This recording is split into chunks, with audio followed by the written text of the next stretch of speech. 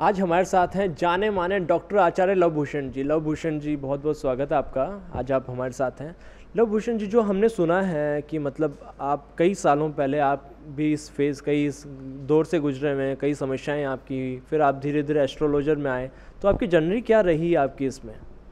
जी, नमस्कार। मैं सबसे पहले आपको बताना चाहूँगा कि एस्ट्रोलॉजी मैंने क्यों चुनी?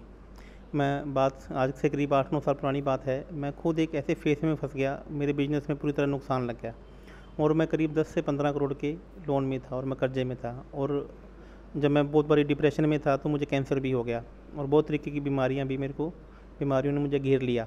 फिर मैं टाटा में, मुंबई में एडमिट था, तभी वहाँ मुझे कोई एक ज्योति से मेरा सामना हुआ, मिलना हुआ। उन्होंने मेरे बारे में कुछ मुझे बताना शुरू किया। उससे पहले मैं एस्ट्रोलॉजी में विश्वास नहीं करता था।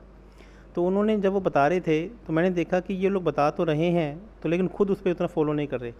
लेकिन मुझे उनकी बातें अच्छी लगी और मैंने उन्होंने जो मुझे मेरे बारे में बताया, उन्होंने को मैंने बड़े दिल से करना शुरू किया। जैसे ही उन रेमेडीज़ को या उपायों को मैंने दिल से करना शुरू किया तो मेरे को इसका इम्प्रूवमेंट आना शुरू हो गया। दो से तीन महीने के बाद मुझे कुछ काम मिल गया और मेरी हेल्थ में भी इम्प्रूवमेंट आना शुरू हो गया। फिर मुझे लगा कि साइंस में कुछ है। मैंने साइंस को बहुत नज़दीक से बहुत पास से पढ़ना शुरू कर दिया। मैंने बुक्स खरीदना शुरू कर दिया और तमाम उन अच्छे अच्छे एस्ट्रोलॉजरों से मिलना शुरू किया जो इस फ़ील्ड में जिनको महारत हासिल थी। मेरी रुचि इसमें बढ़ना शुरू हो गई। तो मैंने जब उन किताबों को पढ़ना शुरू किया उन काम को करना शुरू किया उन एस्ट्रोलॉजर से मिलना शुरू किया तो मुझे पता लगा कि इस विद्या में कुछ है जिस पर अभी तक उतने अच्छे से काम नहीं हुआ जितने अच्छे से काम होना चाहिए था। लोग उपाय या रेमेडीज लोग मैंने एस्ट्रोलॉजर के पास किया तो उनके पास से देखा कि भीड़ लगी हुई है पचास सौ लोगों की और एक एस्ट्रोलॉजर पाँच मिनट में उसको देख के बता रहा है। यहाँ सोशल मीडिया पे गया तो सोशल मीडिया में उपाय फ्री में बांटे जा रहे हैं कि आप ये कर लो आप ऐसा हो जाएगा आप ये कर लो ऐसा हो जाएगा। तो मैंने सोचा मैं बाई कास्ट अग्रवाल हूँ। तो मैंने और मेरी शुरू में पढ़ाई में रुचि थी। मैं हमेशा सोशल मीडिया पे कहा जाता है कि ये कर लो आप ऐसा हो जाएगा वो कर लो आप ऐसा हो जाएगा। तो कहीं ना कहीं आप लोगों पे प्रभाव पड़ता है सोशल मीडिया का। कि सारे उपाय तो फ्री में सोशल मीडिया पे दिए जा रहे हैं तो फिर मैं उन मैं यही तो एक मैं बात बताना चाहूँगा कि जो भारत की धरती है यहाँ ऋषियों ने जितना एस्ट्रोलॉजी पे काम इंडिया में भारत में हुआ है कहीं नहीं हुआ है। आज भारत की एस्ट्रोलॉजी को पढ़कर विश्व भर के लोग समय आगे बढ़ रहे हैं और जबकि भारत में देखा जाए तो उसमें एस्ट्रोलॉजी को फ्री में प्रचार किया जा रहा है। मैं बताना चाहता हूँ पहली बात तो कि एस्ट्रोलॉजी के उपाय फ्री में ना तो बताने चाहिए और ना ही फ्री में लेने चाहिए। आप पैसों की बात कर रहे हैं और अभी आने वाले कुछ दिनों बाद दिवाली भी है तो लोग चाहते हैं कि भैया हमारे पास भी खूब धन लक्ष्मी आए, खूब हमारा कारोबार बढ़े। तो ऐसे क्या उपाय करने चाहिए? दिवाली सामने है, दिवाली के ऊपर लोगों को कि उसका बहुत प्रभाव पड़े लोगों को? देखिए हाँ मैं आपको बताता हूँ कि जितने भी उपाय हैं मैं आपको बता रहा हूँ ये सिर्फ़ ये फिर डेट ऑफ़ बर्थ से देखे होते हैं। लेकिन मैं कुछ आपको सार्वजनिक रूप से ऐसे उपाय भी होते हैं कि जो आम जनता भी कर सकती है। जैसे दीपावली के ऊपर श्री यंत्र घर पर स्थापित किया जाना चाहिए। श्री यंत्र को स्थापित करने की एक दिशा होती है। हमने देखा कि मैक्सिमम लोग श्री यंत्र को नॉर्थ ईस्ट में स्थापित कर देते हैं जबकि श्री यंत्र को साउथ ईस्ट में सावित्र देवता के पास स्थापित किया जाना चाहिए। मंदिर में किसी भी प्रकार का लाल रंग नहीं होना चाहिए। मंदिर में किसी भी प्रकार का गुंबद नहीं होना चाहिए। मंदिर में नौ इंच से ऊपर की मूर्ति घर में नहीं होनी चाहिए। और मैं बताता हूँ कि जब भी अगर लक्ष्मी जी की पूजा करें तो नए नोटों की गड्डियाँ पाँच से दस नए नोटों की गड्डियाँ वहाँ पे वहाँ पे पक्का रखें। जितना ज़्यादा धन आप रखें लक्ष्मी जी की पूजा करेंगे उतना पैसा आपको आने की आपके आपस आने के चांसेस रहेंगे। मतलब जितने आप जितना रख सके अपने साथ जितना हाँ जितना ज़्यादा पूजा के टाइम पे पैसा नए नोट वहाँ पर रख रखा जाए तो आपके बहुत पैसा फ़ायदा आएगा। एक रुपये का नोट का पिरामिड बनाकर आप अपने जेब में रखें या अपने पर्स में रखें तो वो नोट को आकर्षित करता है। सौ डॉलर का नोट या दस या बीस पचास जैसा आपके पास पैसा है उस हिसाब से डॉलर का नोट आप अपनी जेब में रखें तो पैसा आपकी तरफ़ आकर्षित अच्छा, होता है। की जगह डॉलर का नोट नहीं मैं आपको बोल रहा हूँ एक रुपया भी बोल रहा हूँ एक रुपया क्यों बोल रहा हूँ? क्योंकि एक रुपये का नोट एक ऐसा नोट है जो आरबीआई के द्वारा नहीं छापा जाता है ये सेंट्रल अच्छा। गवर्नमेंट के द्वारा छापा जाता है। और एक रुपये की गड्डिया मार्केट में लेने जाओगे नहीं तो आपको एक रुपये की गड्डी सौ रुपये की हुई लेकिन आपको नौ सौ रुपये से हज़ार रुपये की मिलेगी नई गड्डी मार्केट में। बैंक पे मिलती नहीं है मार्केट में मिलती हैं। तो एक रुपये का नोट मात्र एक ऐसा नोट है जिसकी वैल्यू तो एक रुपये है लेकिन मिलता मार्केट में नौ या दस रुपये का है। तो इसका मतलब उसमें कुछ तो है ना। तो इस नोट का पिरामिड बनाकर यदि आप अपने पर्स में रखते हैं या अपने पैसे में रखते हैं तो पैसा आपकी तरफ़ आकर्षित होता है। दूसरा मैंने यूएस डॉलर क्यों कहा? आज वर्ल्ड में सबसे ज़्यादा चलने वाली करेंसी कौन सी है? यूएस डॉलर है। तो यदि आप ऐसी करेंसी जिसका रोटेशन वर्ल्ड में सबसे ज़्यादा बार होता है लोग पैसा खरीदने के लिए या रूटीन आपस में देने के लिए ऐसी करेंसी का यूज़ करते हैं तो उस डॉलर का नोट आप अपनी जेब में रखते हैं तो भी पैसा आपकी तरफ़ आकर्षित होता है। जैसे कि कहते हैं कि इस समय से लेकर दोपहर दो बजे से लेकर रात को ग्यारह बजे तक का बड़ा शुभ मुहूर्त होता है। तो जो बाकी के टाइम जो होता है अगर कोई पूजा करता है तो उसका क्या नेगेटिव प्रभाव पड़ता है या क्या कुछ पॉजिटिव भी रहता है? ऐसा कुछ? देखिए ये सब होरा के अकॉर्डिंग देखा जाता है। हर दिन की होरा अलग होती है राहु काल से देखा जाता है। तो यदि इसमें ना उत्तम समय ये चौघड़िया होता है डेढ़ घंटे का टाइम ये घंटे का अमृत काल शुभ मुहूर्त उन्हीं टाइमों पे आदमी को शुभ काल में शुभ मुहूर्त में टाइम शुरू करना चाहिए। यदि हम अशुभ काल में टाइम शुरू करते हैं तो कहीं ना कहीं हमें आगे जाके विपत्तियों का सामना करना पड़ता है। जैसे पॉजिटिव नक्षत्र और नेगेटिव नक्षत्र का क्या रहता है?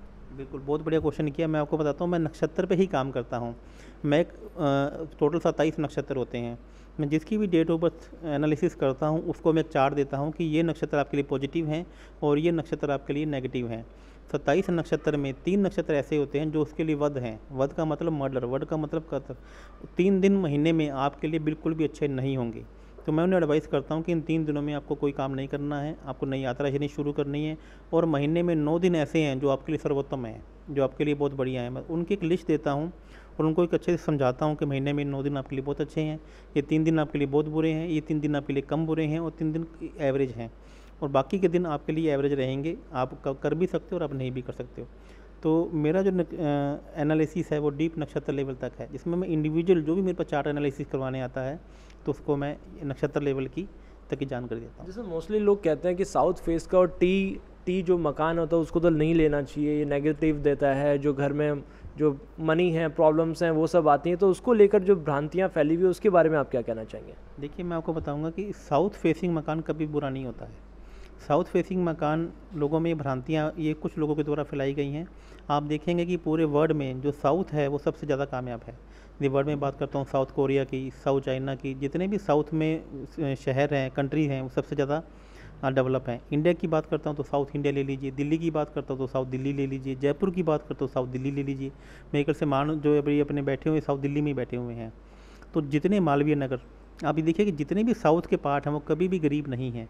लेकिन साउथ में दो एंट्रियाँ होती हैं एस थ्री एस फोर वही एंट्री साउथ की सबसे अच्छी है। जैसे कई कहते हैं कि जैसे इस साउथ में मेरा मकान है या किचन इस साइड है वॉशरूम उस साइड है रूम इस साइड है तो कई जैसे एस्ट्रोलॉजर से बात होती है कि आप मकान के इस रूम को यहाँ से तोड़वा के इस रूम को इस साइड करा लें किचन को यहाँ से लेकर वेस्ट में करा लें तो क्या बिना कुछ तोड़े मकान में ऐसा कुछ हो सकता है कि वास्तु एकदम सही रहे कुछ नुकसान भी नहीं करना पड़े मकान में और सब कुछ सही चले? बहुत ही बढ़िया क्वेश्चन किया आज आपने मेरे दिल वाला क्वेश्चन छू लिया। मैं बताना चाहूँगा कि दोस्त आज जो मैं वास्तु कर रहा हूँ ये बिना तोड़ फोड़ के होता है। मैं उसमें एक ईंट भी उसके लिए हिटवाता हूँ।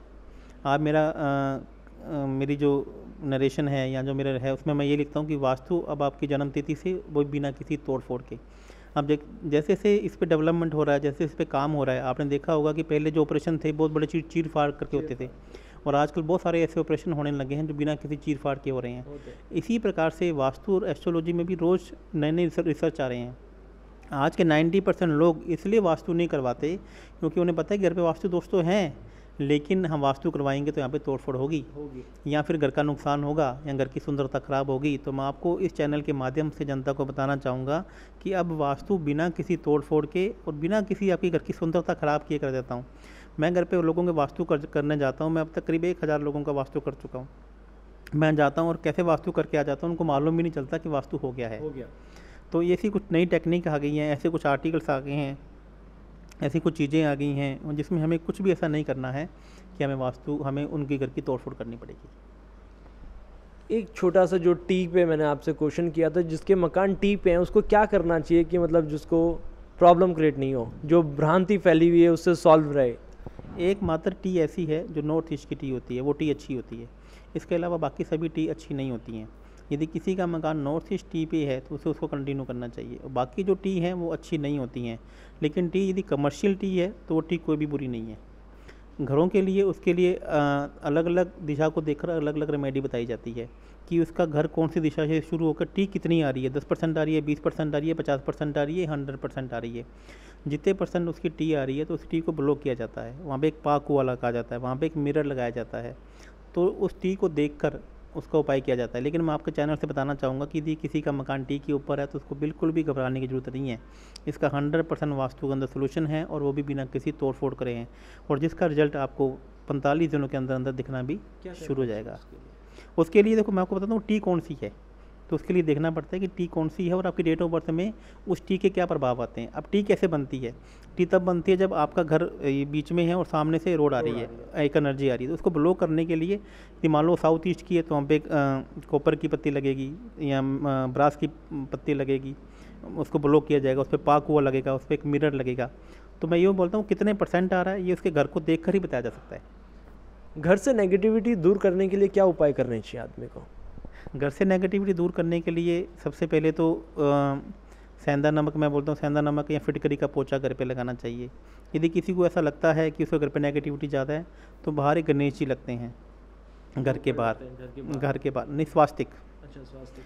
स्वास्तिक भी हमारे मैंने आठ प्रकार के स्वास्तिक तैयार किए हैं वो घर के एनर्जी को तैयार करके। उसमें एक उल्टे स्वास्तिक भी होते हैं एक चक्कर वाले स्वास्तिक भी होते हैं और उसके अलावा घर के बाहर आप गौमूत्र भी कंटिन्यू छिड़क सकते हैं।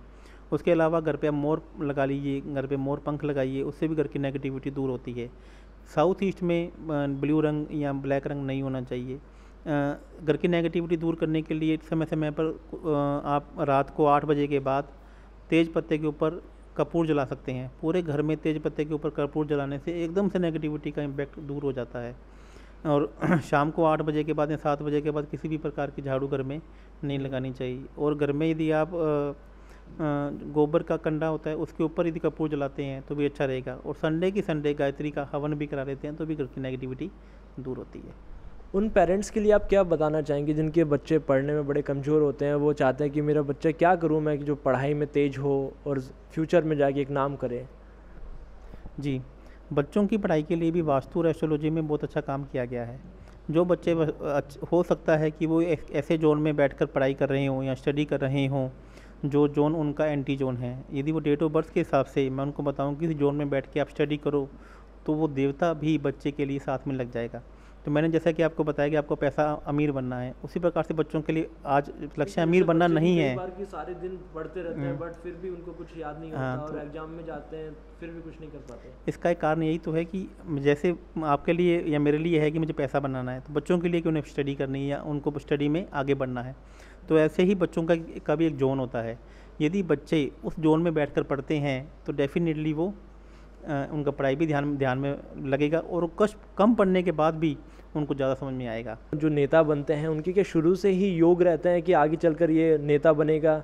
या कहीं ना कहीं धीरे धीरे अपने ग्रहों को या फिर अपने जो कहते हैं जो आपने अच्छे काम किए हैं उनसे जाकर वो बनते हैं कर्म से? देखिए नेम अभी आपने बात बताई अभी अपने शुरू से थोड़ा सा मैं बैक बैक पे चलूँगा थोड़ा सा आगे चलूँगा। हमारी लाइफ में नौ ग्रह होते हैं जिसमें से कुछ ग्रह ऐसे हैं जिनका नाम नेम ऑन फेम और आपको प्रसिद्धि दिलाना है जिसमें सूर्य मंगल और गुरु हैं।